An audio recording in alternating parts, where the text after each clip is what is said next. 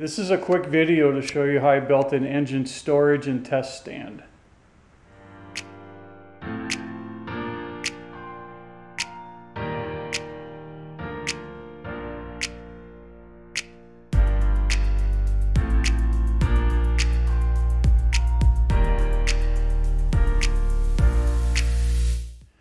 All right, this is pretty easy. Don't need to do a whole lot of measuring. I started by just lifting up the engine on a hoist and located some mounting points. Um, this is really where the front um, engine mount goes on this old International 345, but I got a couple of mounting points here. And then I've got another mounting point back here on my bell housing or just where my bell housing hooks into the engine. So the idea is to suspend the engine and build the stand underneath it. Um, that way you know it's going to fit perfect. So let me show you the stand that I built. You're going to need some angle iron, some 4x4, uh, some 2x6s or 2x8s, and then some engine casters. So what I did first was cut out some angle iron and pre-drilled.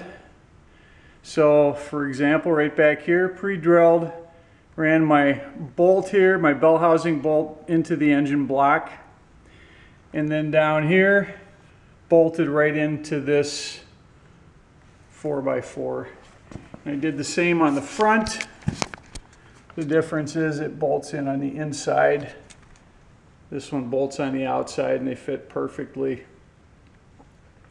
So once you've done that, you want some cross bracing in here to hold these together on the bottom so they don't spread apart. So I just screwed with some construction screws, those in there. And then I've got some nice casters underneath there that are steel.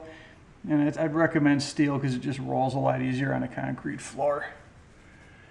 So that's, that's how it starts.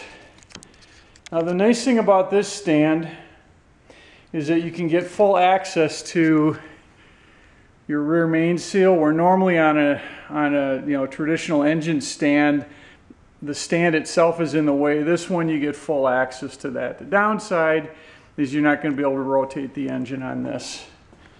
Now the other thing I did with this stand is I added some bracing and a radiator so I can run this engine for an extended period of time.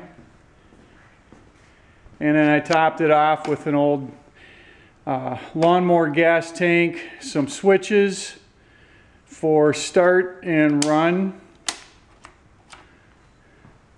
And that's about it.